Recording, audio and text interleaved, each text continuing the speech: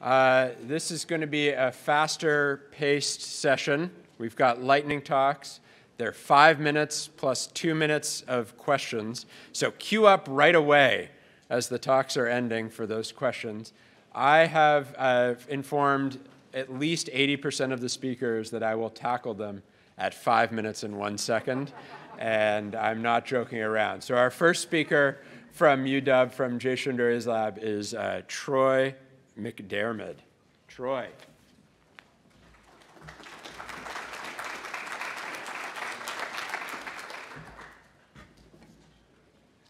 All right.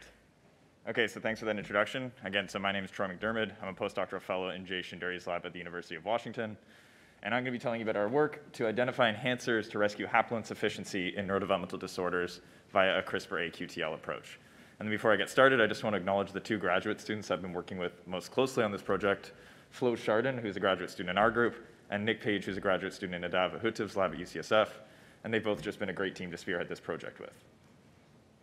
Okay, so this project is a bit different than the other ones you've heard about today. It's focused on gene regulation and gene therapy, and in particular, a form of gene therapy called cis regulation therapy.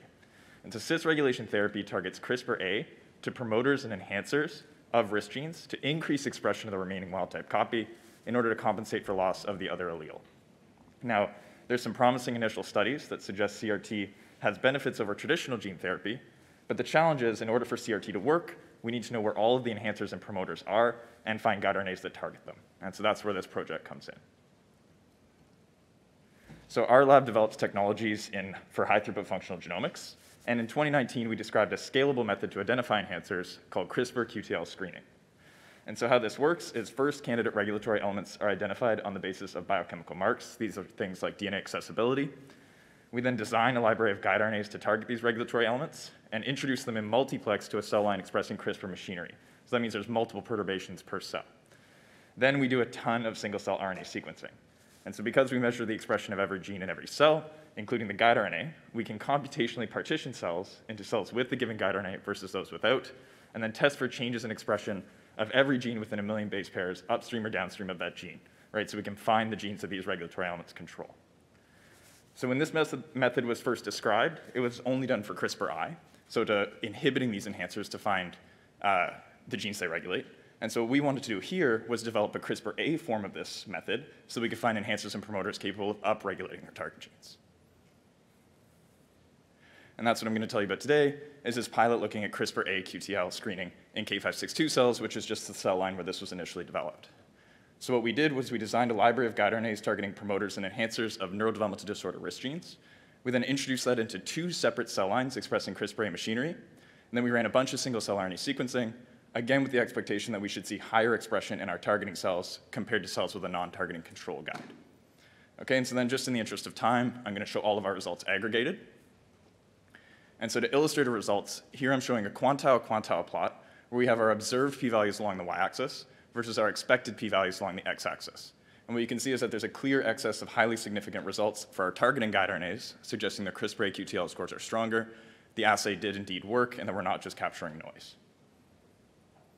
Okay, so that was for both promoters and enhancers at the same time, but what we wanted to see was would this method work if we just targeted enhancers, because that wasn't clear at the outset of this work.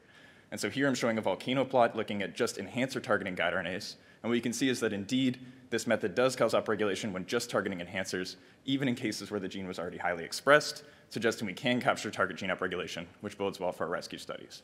And then on the right is just one example we're particularly excited about, where we have two separate guide RNAs targeting the same enhancer for ANX1, and they both yield nearly identical upregulation. Okay, and then this is just one example to show you what you can do with this type of data when you map it to a locus. So here I'm showing one high confidence neurodevelopmental disorder risk gene, ANK2, now, ANK2 has a very complicated isoform structure. It has multiple different promoters. I'm only showing five here. And what you can see is that the two strongest guide RNAs for ANK2 both target the same promoter, and this is not the promoter that's prioritized by biochemical marks like H3K27 acetylation or accessibility. Right, so this just gives you an example of how you can prioritize your search space to these actual functional regulatory elements for in vivo rescue efforts, or if we wanted to look at the effects of things like non-coding variants. Okay, and then five minutes is not a lot of time, so we have a lot more analyses. I'll be around the meeting if you're interested in this project. We've looked at how specific our guide RNAs are, different efforts mapping them to areas in the genome, as well as now current efforts to transfer this whole screening framework to iPSC-derived neurons and scaling it to a list of all regulatory elements controlling all neurodevelopmental disorder risk genes. Again, with that, I'd just like to say thank you to all the members of the Shinduri Lab, in particular Jay, as well as the Ahutiv Lab, the Street Labs, our other collaborators at UCSF, and our funding bodies, in particular the Banting postdoctoral fellowships for this work, as well as the Wheel NeuroHub. Thank you.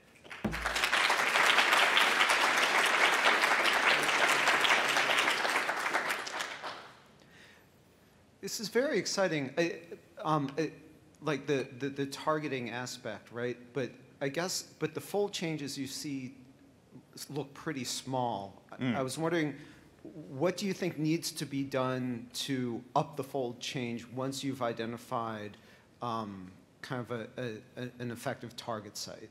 Yeah, so that's a great question. So uh, the first aspect of that is this is from single cell sequencing data, which is quite sparse. So if we did a bulk assay targeted to that, we should have more power. Also, we could then do a tiling across that regulatory element. Once we know that that regulatory element is important, we could do a lot of different guide RNAs to find more effective ones, or try more effective forms of CRISPR machinery as well. Any other questions? All right, let's thank Troy for being timely, timely and great talk.